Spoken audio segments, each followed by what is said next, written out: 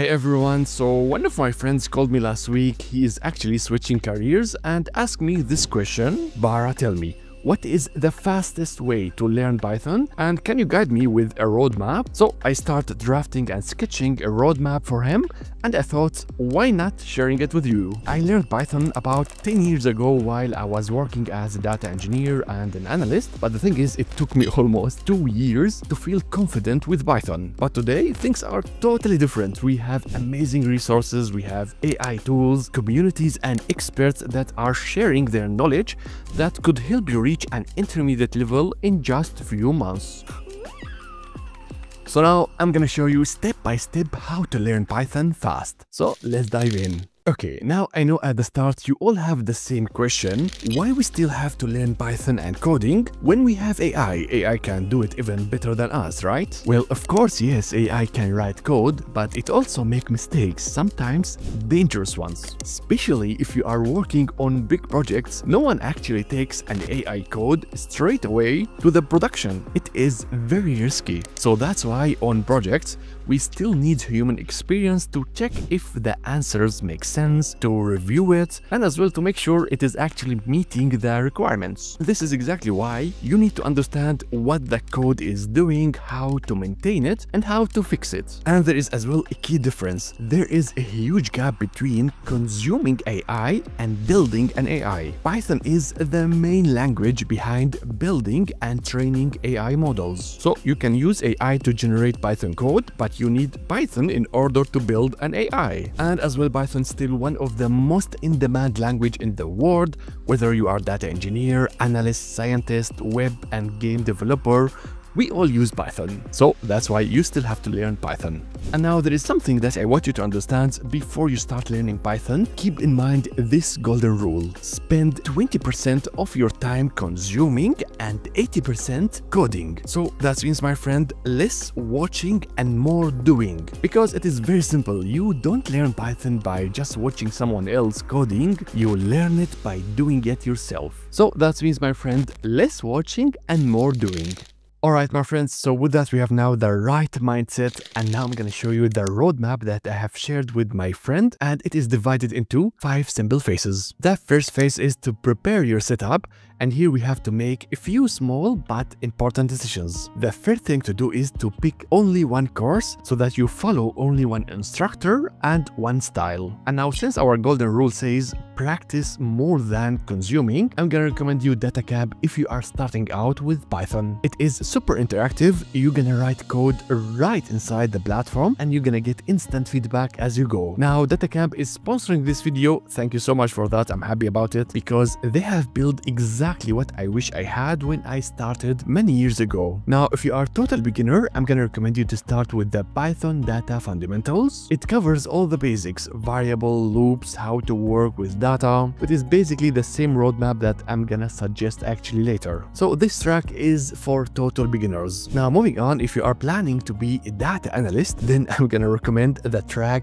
Data Analyst in Python. Here you're gonna start learning real-world tools like Pandas, NumPy, and data visualization organizations. So everything in one package to prepare you to become a data analyst. So those two tracks are project-based and gonna help you to learn by doing directly at your browser. So if you are serious about learning Python the right way, then start with DataCamp. And of course, there are many other free options like for example, you can follow my course on YouTube. I have already published 30 videos about Python where I have covered all the basic topics. It is made for total beginners even if you never programmed before. So again, all what you have to do is now to pick only one course. Next, you have to go and pick one tool. You can use Jupyter Notebook or Visual Studio Code, but I always recommend Visual Studio Code because that's what most professionals use in real projects. But if you are planning to be a data analyst, it is totally okay to use notebooks. Then after that, I want you to go and make a rough plan.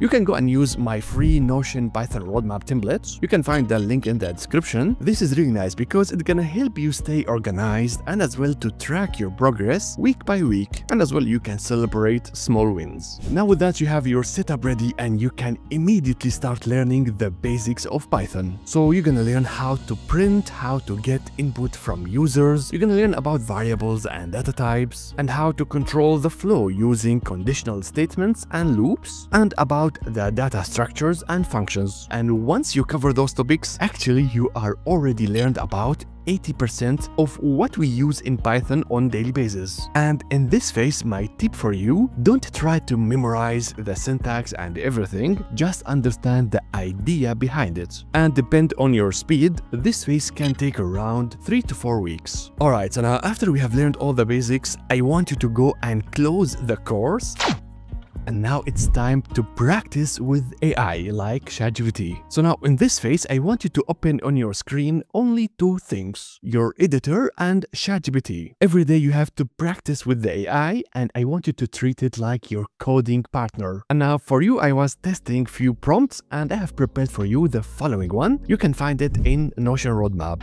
So in the prompt first, we're gonna give some context like what you have already learned. With that, it can create challenges at your level.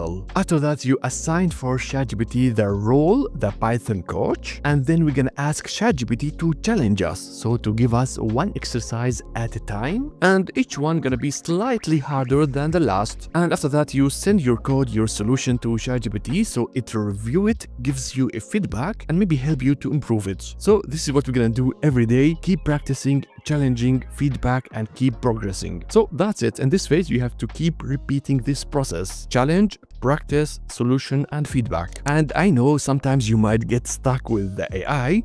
That's why I'm gonna recommend you to go to the W3Schools. They explain things in a really simple way. And to be honest, I used it for years in order to learn Python and as well, I always go back to it if I need to check something. But now if you're still stuck and you don't get it, only then go open the course and watch an explanation. But only if you have tried and failed on your own because I want you in this phase to struggle, to have hard time, it is really the only way to learn something. And for this phase, I'm gonna say spend between like one to two weeks every day only practicing with the AI. Alright friends, so once you start feeling confident with coding, it's time to pick your path. Python is really huge and you cannot learn everything. And here you have to be really careful because I have seen a lot of people that trying to learn everything about Python and they ended up quitting. So think about it like doctors. They have to learn first general topics and then they specialize on something. You need to do exactly the same. You have to pick one direction and then go deep. Like for example, if you want to be a web developer, then pick Flask or FastAPI. But if you want to be a data analyst, then you have to learn Pandas and NumPy. We data engineers, we usually learn PySpark. For machine learning, we learn TensorFlow or PyTorch. So as you can see, it depends on your specialization. Once you pick your area, you're gonna pick one of the libraries, gonna learn the basics, and then start experimenting. Now, my tip for you, don't rush it. Just understand what it does and how it is used. So by the end of this phase, you start feeling that you are like specialist in Python. And I'm gonna recommend for this phase to spend at least one month learning a Python library.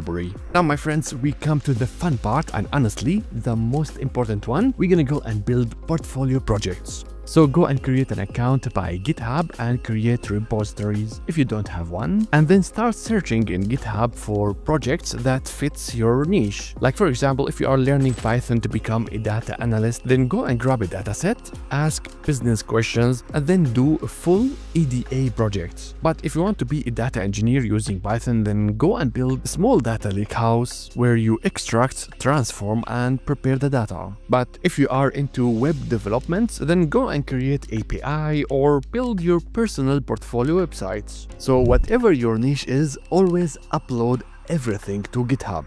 This is your public portfolio. It is a proof that you don't just learn, you build. And my tip for you, each time you are done with a project, go to LinkedIn and share your success story. These mini wins gonna help you to connect more to other people like you and as well it's gonna keep you motivated. So this phase is really important because it is the moment where you're gonna feel I'm not just learning, actually I am creator. And I can tell you you're gonna enjoy this phase because finally you're gonna understand the overall big picture and how everything is like connected together and you understand the why, why you are learning those stuff. And I recommend for this phase to stay at least two months just doing portfolio projects.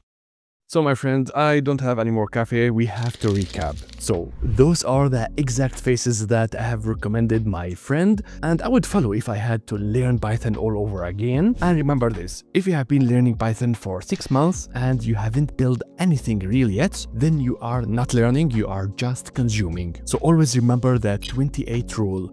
If you are learning more than practicing, then you are doing it wrong. At the end, the process is really simple. Learn a little, practice with AI, build portfolio projects and share it, and then repeat. So if you like this type of content and you want me to make more, then support the channel by subscribing, liking and commenting. This really helps to reach other people like you. And by the way, I have been very active in LinkedIn, so follow me there and you can subscribe as well to my weekly newsletter if you want to stay updated. So at the end, nothing left to say. Thank you so much for watching and I will see you in the next video. Bye bye.